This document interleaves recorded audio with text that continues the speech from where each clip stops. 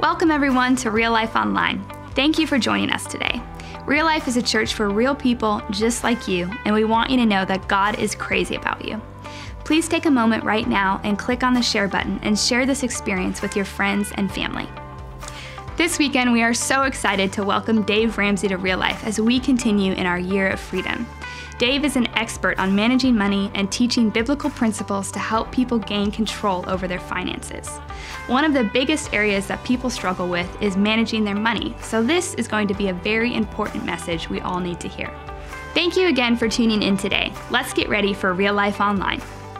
What would happen if the people of God started handling money God's ways?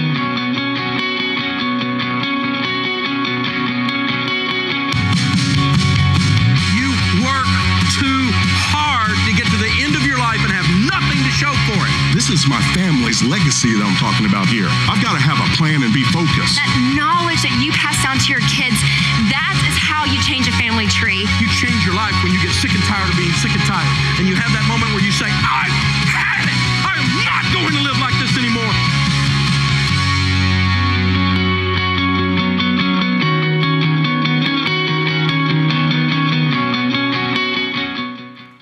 good to see everyone today. Love you guys. Welcome to our locations all around Central Florida and week two of the Year of Freedom. And we, uh, we have to admit that one of the biggest obstacles to freedom in our lives is money, right? Personal finance, especially when it's going bad, it messes up a lot of things. We happen to have been graced by God to have the best guy in the world to talk to us about that. So, Brother Dave Ramsey's in the house. We're going to keep giving you love, bro, because you're amazing. And you've set a lot of people free by God's uh, design and call for your life. Here's what so, the first time Dave and I got to spend time together, we were at dinner together. And he was with his wife, Sharon. And uh, just the conversation here's what you know when you're with somebody and they're real. And what really struck me about Dave is first of all, Dave Ramsey doesn't have to do anything, right? He's been following his principles for a long time, haven't you? You're doing okay. Dave Ramsey doesn't have to do anything. He does not have to fly to Florida and, and speak to a church. He does it because it's his passion, it's his calling, and because he cares deeply about helping people find financial peace, helping people find freedom. And so that's why he's here, guys, is because he loves the Lord, he loves us, and he wants to help us find that peace. So will you please help me welcome my brother, Dave Ramsey?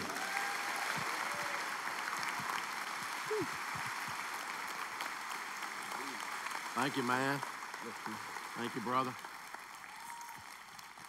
Love that guy. Gotten to know Pastor Justin over the last couple of years. We have the top 50 pastors of top 50 churches in America come into Nashville at our expense and just love on them and get to know them and become friends with them a couple times. I guess we've done it for about four or five years, and he's been at most of those, and I've gotten to know him. We've become good friends. He's just an incredible guy. Y'all give him a round of applause.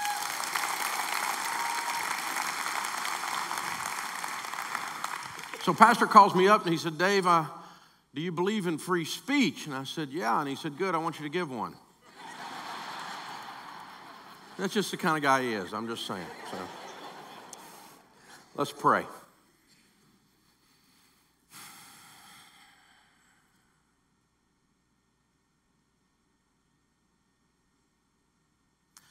God, you know I can do these talks by myself. They sure are better when you do them. Turn this time over to you. In Jesus' name, amen. So, my wife and I got married 38 years ago. We were stupid. We didn't know anything. Just a couple of hillbilly rednecks getting married. You didn't, you didn't go through pre marriage counseling. You just get hitched, you know, and hope it works out. So, bless her heart, she didn't marry well. Um, it was a mess. And uh, we were broke too. Y'all remember when you started out? We ain't got money, honey, but we got love. We started off broke. And we moved to Nashville, where I was from originally. We met her in Knoxville. I was going to the University of Tennessee back when they used to play football. And um, we, uh, we, we get married and we moved to Nashville in a little one bedroom apartment, eating off a card table. And after about two weeks of marriage, she gets up on a Sunday morning and says, announces, well, actually, what happened was she remembered she was a Baptist. She'd forgotten to tell me this. Uh, we hadn't had any discussions about Baptists or Jesus or God or anything like that. We just got married. And um, she gets up on Sunday morning and announces, We're going to church. I said, We aren't doing anything. It's Sunday morning. I'm not going to church. I'll be drinking beer and watching football. This is what you do on Sunday morning. What's wrong with you, woman? Well, we're in Nashville, which is the buckle of the Bible Belt, right? There's more Baptists there than people. and so she gets all mad and tore up and has a crying fit because I won't go to church with her, and I'm not going to church. So she heads out. Of course, it didn't take her long to find her tribe. So found a little Baptist church and went in there and goes to church, and her and those little Baptist people prayed for her heathen husband. And um, this went on for four, five, six months, the first six months of our marriage, and every Sunday we'd repeat this scene. She'd cry, have a fit, drive off, find a Baptist, and uh, it wasn't going well, y'all. It just wasn't going well. And I got in one of these um, multi level things where you get rich and make all your friends mad. You all know those things? And so I was going to get a yacht and have a big house, and I was going to be a big deal and all this stuff. And one of my beer drinking buddies got me into this thing. There's a lot of beer in this story, but um, anyway, we, he, me and him were so dumb. It was Daryl and his other brother Daryl trying to do business, right? we would go to happy hour and then go make sales calls and couldn't figure out why we couldn't make sales. This is how dumb we were, all right? So anyway, we decided the business wasn't going well. We needed to learn how to do it right. And so there was one of the big pep rallies down in Birmingham, Alabama, at the Alabama Theater. And so we get in the car and drive two hours south from Nashville down to Birmingham and, and go into the Alabama Theater, which in my mind, I saw 10,000 people in there. You ever go back to your elementary school and it has shrunk? Yeah, the Alabama Theater, we used it for an event not long ago, holds 800 people. But in my mind, it was 10, it's a cute little theater, but it's, you know, small. And, and so in my mind, there's 10,000 people. Because me and Daryl, we were sitting on the back row of the balcony. You know, we were way back there, not picking on the balcony people, but this was us back then. And so, I mean, the guy that got up at the end of the day was the dog. He was the big dog. He was the one making all the money. He was who we wanted to be. He had the yacht. I mean, holds up a check, it's $400,000. That's what he's making every 10 minutes or whatever, you know. You know how they do that stuff, right? Hype City. And so he's going on and on. And, and, we had written down five or six things that if we could learn these five or six things, we could make it in the business. We'd be able to get the big house, get the big yacht, live the dream, all that stuff, right? And so this guy gets up. Not only did he have credibility with us because he was the guy we wanted to be, but then it was as if he had our five or six things as the outline for his talk. And he walked right down and read our mail. And he was a wonderful speaker. He was a great orator. And by the time he finished talking, to say that he owned us was an understatement. Anything he told us to do, he, we were going to do. And he gets to the end of his talk and he said, And there's one more thing. And we went, I don't know. I think I got it. One more thing.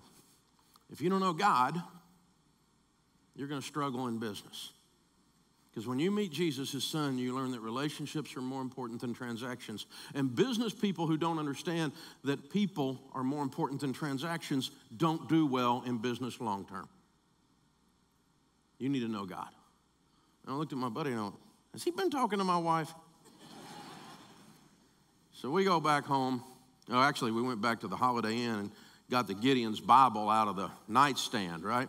And of course, it's King James. Shakespeare and Jesus. I mean, the chances of these two rednecks getting through this is zero, all right? So we closed that up anyway. We go home. I told my wife, I said, We're going to church. And she's like, Who are you and what have you done with my husband? And so we visited some churches. We found some of those churches where they're not having fun. This I do not understand. How you can know God and not be having fun? I mean, some of these people look like they were weaned on a pickle. Y'all know what I'm talking about? They were not having fun. Finally, we go in this little church, about 400 people, and they were having a blast. And we're sitting on the back row because, you know, when you're checking churches out, you sit on the back row so you can exit quick. You know, you, scorecard, and I'm out of here, right? And so we're on the back row, and this woman in the choir starts swaying. And then she raised her hand like she knew the answer to some question. I had never seen anybody raise their hand in church. I'd never heard of this stuff. And, and, and, then another one raised their hand. Then everybody started raising their hands. I told Sharon, if they get snakes out, I am out of here.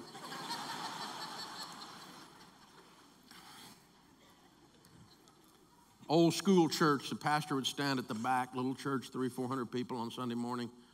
He and his wife would stand at the back and shake your hand, you know, everybody as they leave, old school. It's a long time ago, it's 40, almost 40 years ago. And uh, she's a big squishy woman. She'd give you a big grandma hug, you know, and he, he'd give you a good man handshake. And he was a man, he wasn't a wuss. I thought Christians were wimps. And, and he, he would say stuff like, This is what it says in the Bible. If you don't agree with that, you're what's known as wrong. I like that a lot. I like that. Take a stand, you know, be something. This trying to make everybody happy doesn't work, right? Just this is what it is and deal with it. Oh, I love that. And that guy's strength and that lady's grace and her wonderful grandma hugs hugged us into the kingdom. And I met God in that church in a very real way. And I didn't know beans, y'all.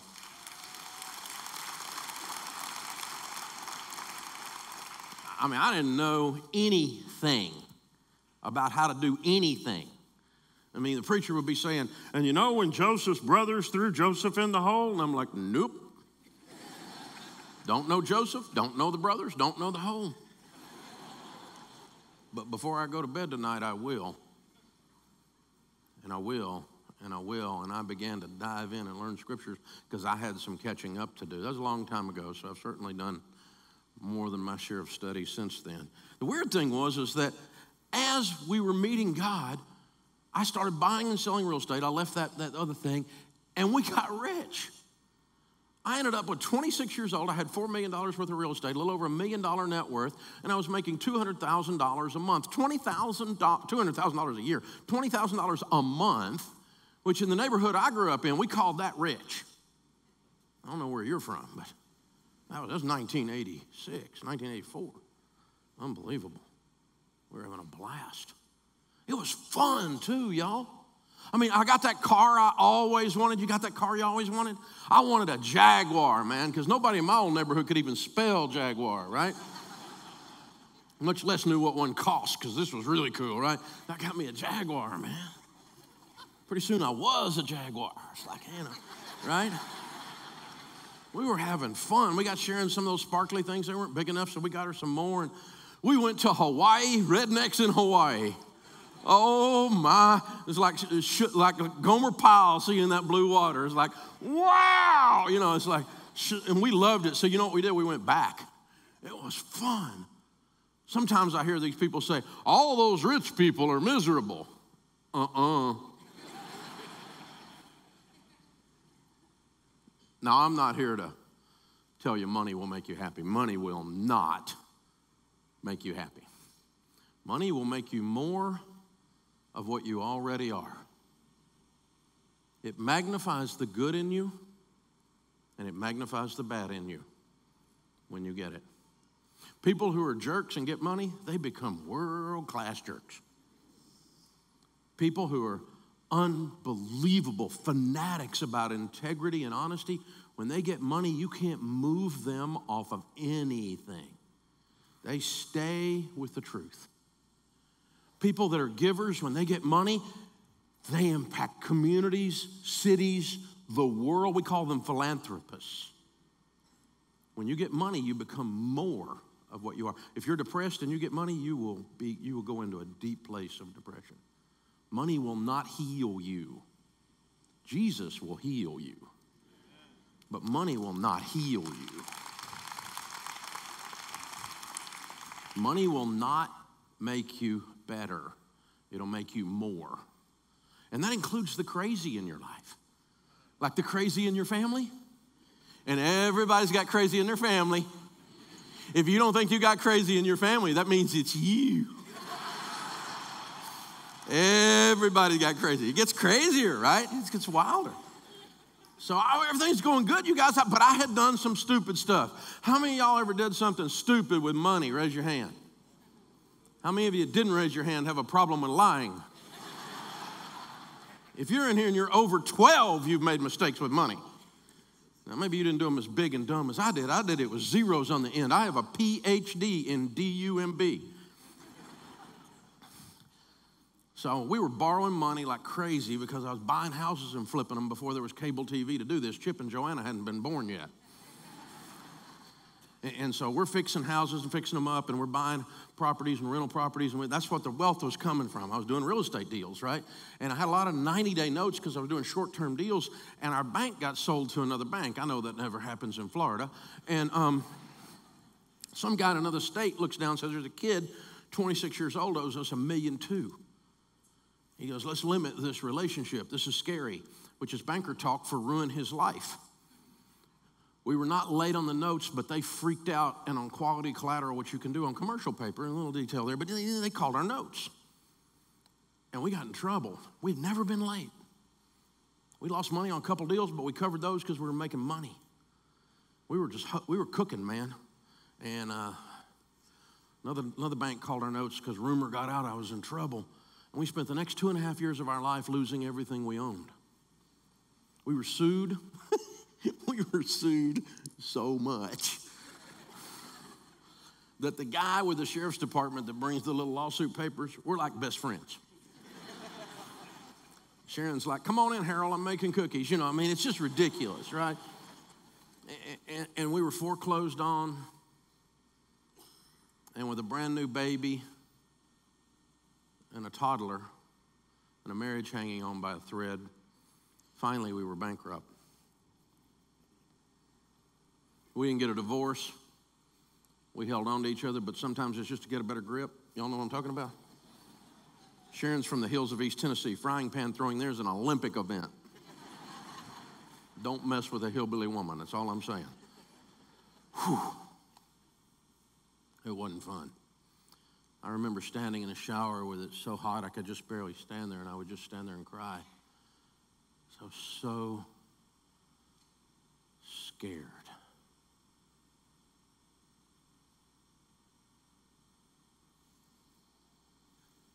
So I met God on the way up. I got to know him on the way down. You will learn some scriptures when you need to learn how to live because you don't know how to live. And so I had an I surrender all moment. And I'm not talking about a Baptist altar call where they keep playing until somebody finally surrenders so you can go to lunch, right? I'm talking about I surrendered I surrendered. Jesus is not my co pilot, He's the pilot. If He doesn't say do it, we don't do it. He is the Lord of my life. This is His love letter to me, and if it's in here and I can figure it out, I'm going to do it.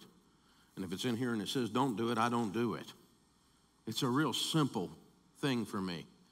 And the beauty of having gone broke is that is all I'm worried about. I love you, but I don't really care what you think. I'm not taking a poll. This is how we're doing it at the Ramsey's house. As for me and my house, we will serve the Lord. And so I'm going to learn marriage. That's good. I'm going to I'm going to learn marriage because I don't know how to be married. I'm a, I'm a doofus. It says in here, Submit yourselves one to another. Oh, crud. means I got to dry dishes. I have to serve my wife. Oh, I would rather it be the other way. My kids are going through here. Dad, what's this rod stuff? I'm like, come here, baby, I'll show you. Some of you don't like that, but you're what's wrong with North America. So.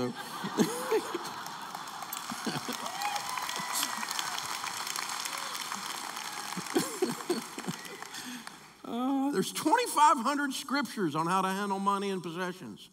Jesus talked more in the parables about money than in love and grace combined. Now, I understand typology and I understand that sometimes those money stories were representations of other things in the spirit, but they're also money stories.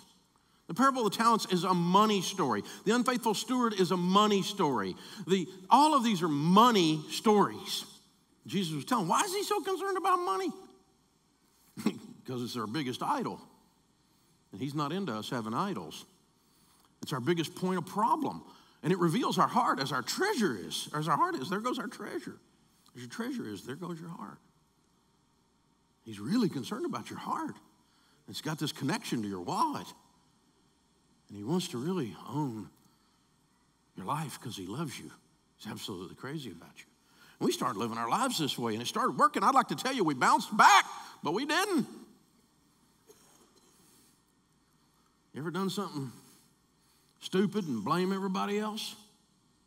That's what I did. I blamed everybody else. It was the IRS's fault. It was the president's fault. And he had nothing to do with it, but it's always his fault. It was just me. You ever done something stupid and blame everybody else? Turns out McDonald's does serve hot coffee.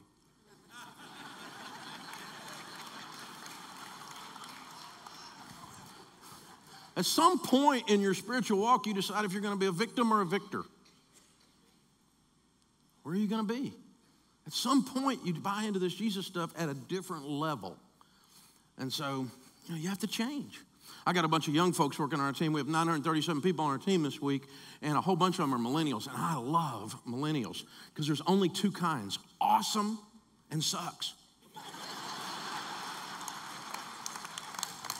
The awesome ones are so mission driven, they will charge the gates of hell with a water pistol, man.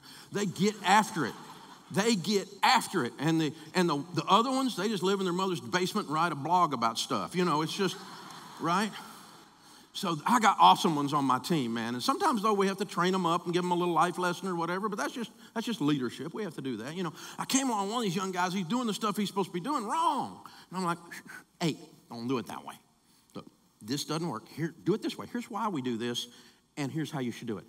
Yes, sir. Okay. I come back a week later, he's doing it wrong again. I'm like, dude, well, here's why we do this, and here's what we do. Do it this way. Yes, sir. I come back a week later, he's doing it wrong again. I'm like, buddy, we are going to set you free in Jesus' name, okay? I sign your check. I said how to do this. I'm not going to tell you again. And he looks at me and says, I'm not like you. And I said, You're right. I do it right, you do it wrong. and what you should do right now is change. He said, What? And I said, You need to change and do it the right way. Isn't it interesting that God gives us the dignity of choice? We get to decide how we're going to live. You decide. How you're you going to do it? And when, if you're going along, if you've been going along like this, I've been going along doing stupid stuff, doing things wrong. And sometimes in the Bible, we would call that sin. And I'm going along walking the wrong way, and God says, Hey, son, stop. Yes, sir. You need to change. Yes, sir. And I do a 180 and I start doing it the right way, and my life starts getting better. Not immediately always, but it always long term gets better walking in God, doing God's stuff God's ways. When you're going the wrong direction and you stop and decide as an act of your will to change, in Christianity we call that repentance. You were walking in a wrong direction, you stop and go the other way. It can be simple stuff, it cannot be some evil moralistic thing, it could just be something simple in your life. But God is saying, there's a better way to do this. There's a better way to do this. And it's all in His love letter. It's all in His love letter. There's five things you can do with money that if you'll start doing these, they will start working immediately. Not because of Dave Ramsey, because it says in the Bible. And 100% of the time, you align yourself with scriptural truths, your life will get better over time. Five things you need to start doing with money. Number one, you need to do a budget, a written plan every month.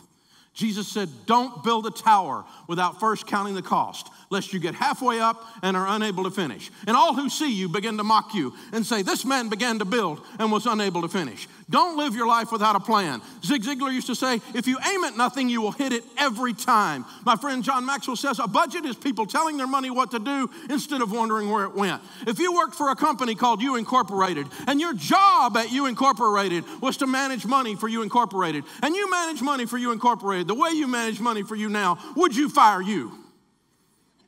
Don't answer that. But God very clearly, right after the parable of talents, says, Boys and girls, here's how it works. When you're faithful in the little things, then you will be given more to manage. Not, I'm disorganized, immature, and I just spend money like I'm in Congress, but I pray a lot about money. It says, when I'm faithful in the little things, then. So, my son, who's a wonderful young godly man now, is a leader on our team. He's a great guy. When he was a little guy, he's about 15 years old, turn, getting ready to turn 16. He said, Daddy, when I turn 16, we're getting me a brand new Corvette. I said, Well, I'm a loving father. No. I have seen you drive, my son. You are incompetent. If we put you in a fiberglass body with a 465 horsepower engine that'll go from zero to 60 in 3.2 seconds, you will kill yourself and someone else. I love you too much to give you what you think is a blessing, but because you can't handle it, it's a curse. You will be getting an old Chevette with a tired gerbil under the hood. and when you are faithful in the little things, my son, when you drive that car properly and it is kept clean and the oil is kept changed, we'll talk about moving you up. I modeled that after my heavenly Father.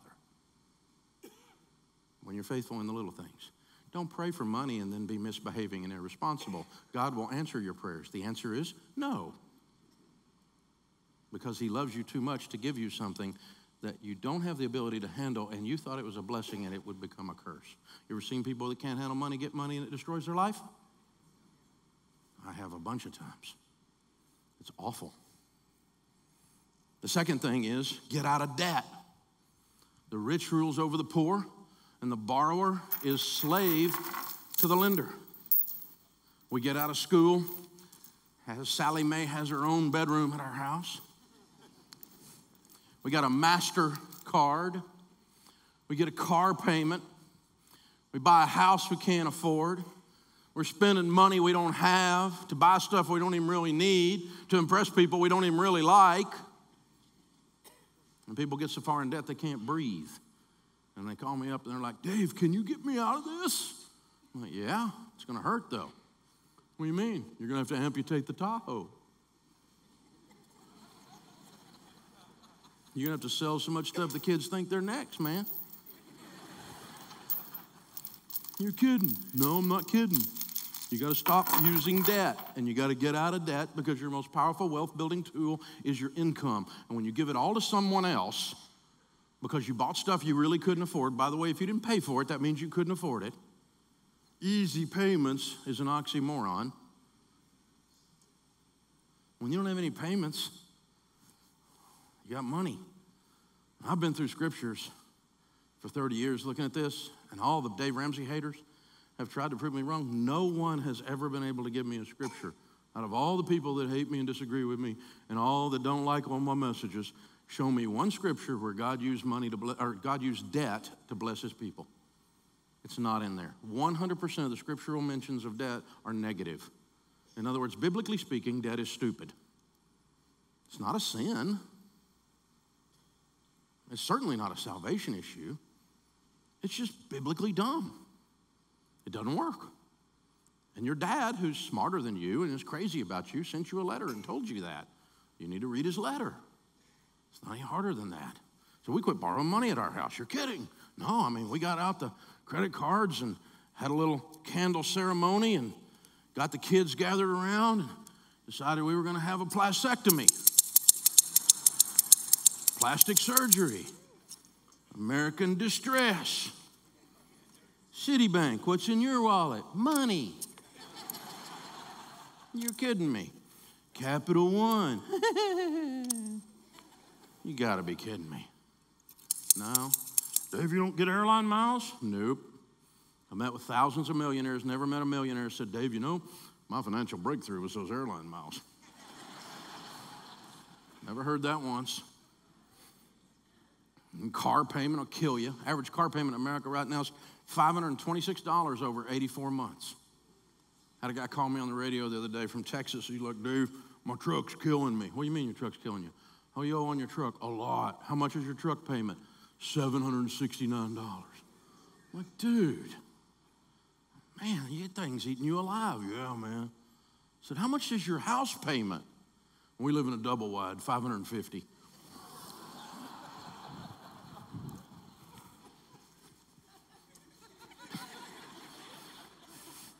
Dude, if your truck payment's bigger than your house payment, you might be a redneck, okay?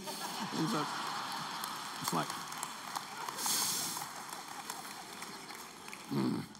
Dave, you don't have any credit cards? No, this is my wallet. Green president's faces. Four pieces of plastic, a debit card on my business, a debit card on my personal, my driver's license, and my handgun carry permit. Rednecks in Florida, huh? Right. Said that in California the day I got arrested, but um, it's good to be back in America. But um, oh, I'm just kidding. We love you people from California. Uh, yeah. Um, the third one is foster high quality relationships. You become who you hang around with. Be not deceived. Evil company corrupts good, hab- good habits.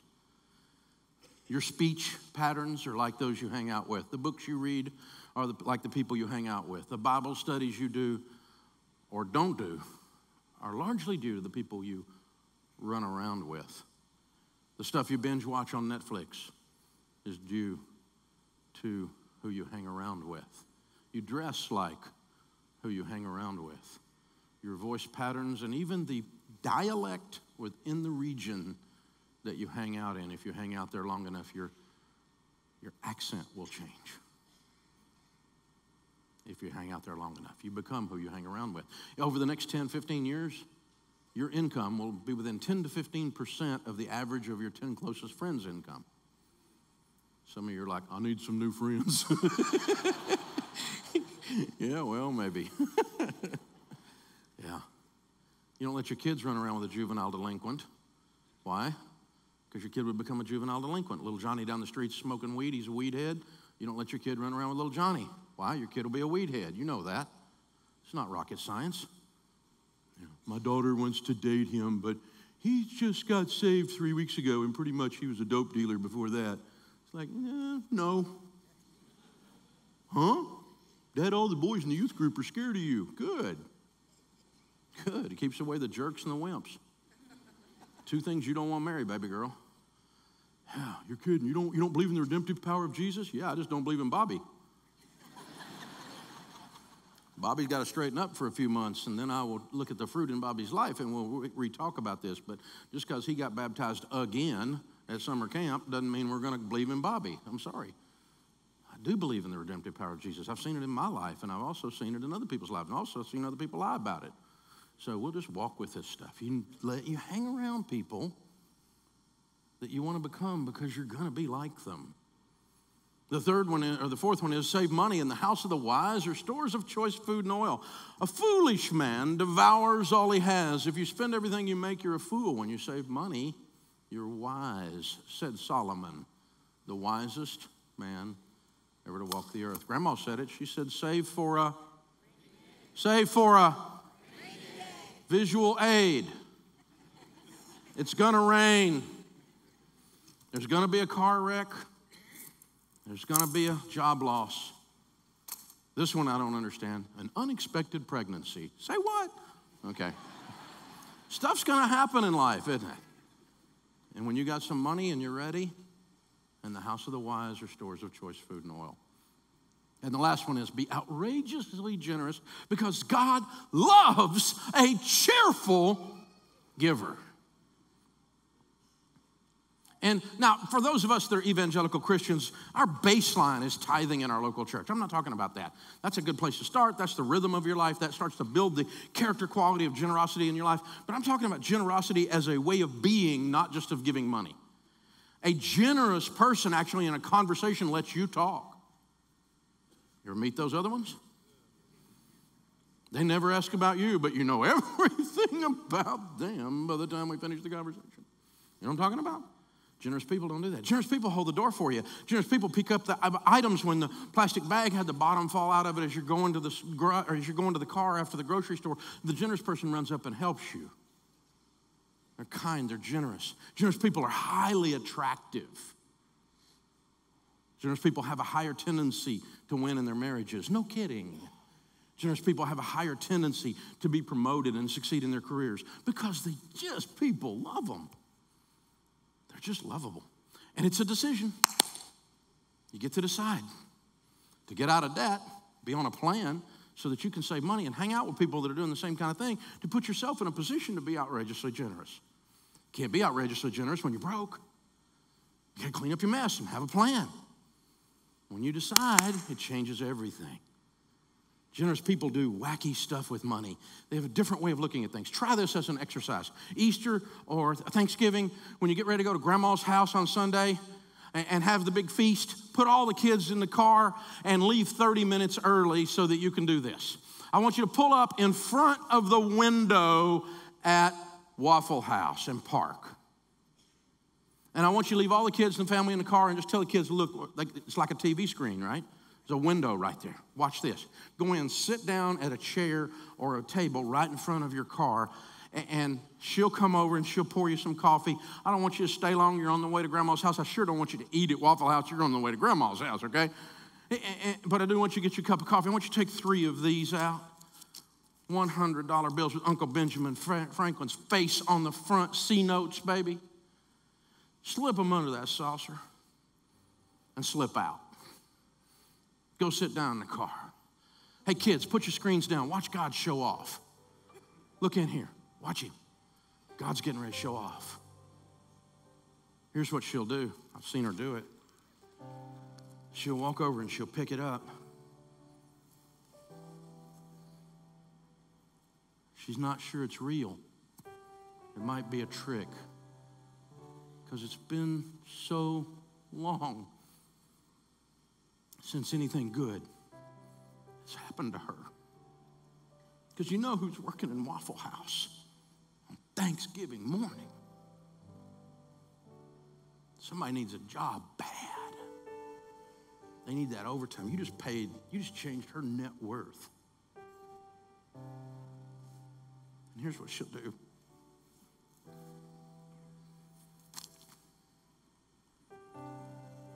And even if she's not a person of faith, even if she prayed that morning or hasn't prayed in 20 years of mornings, 100% of the time, here's what she'll do.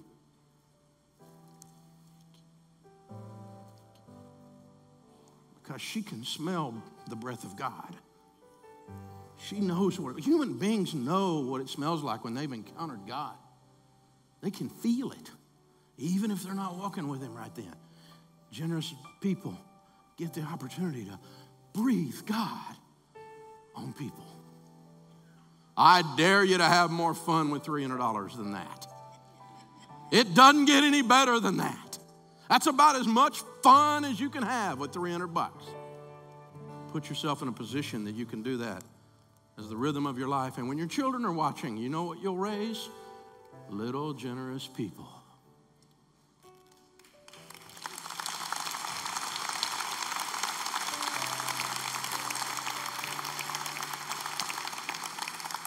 I've worked with folk like you guys for 30 years. I know you. You're my people, you're my friends. And people just like you are my best friends in the world. I'm proud of you. Your Heavenly Father's proud of you. But He said in some of your lives, it's time to change. There's some stuff you need to clean up starting right now because He loves you. He's got a plan for your life. It's not to bring you harm, is to bring you hope. God, we thank you for these folks. I'm so proud of them. I know you're proud of them. God, we ask you to prosper them and to protect them, to bless them, Lord, to touch them, Father, to be with their families, to, God, just cause them to walk in the exact ways that you have for them so that they receive real blessings that come only from you. In Jesus' name, amen. Thank you for tuning in to Real Life Online. If you have any questions or in need of prayer, we would love to connect with you. You can go to real.life slash connect and one of our amazing team members will reach out to you soon. Tuning in online when you're traveling or sick is a great way to stay connected. If this is your first experience with real life, we can't wait to welcome you at one of our campuses. You can find out more about our locations and service times by visiting us online at real.life/locations. We would love for you to stay connected with our real life family by joining our new online Facebook group. You can join in on the conversation, ask for prayer, share exciting things God is doing in your life, and just connect with others in our online family. To join, go to the Real Life Christian Church Facebook page, then look for us under groups. We can't wait to meet you. And if you would like to stay up to date with what God is doing here at Real Life and always know when we go live, subscribe to our YouTube channel now. You can also follow us on social media, download our app, or check us out online at real.life to stay plugged in. Once again, thank you for joining us today, and remember that God's crazy about you.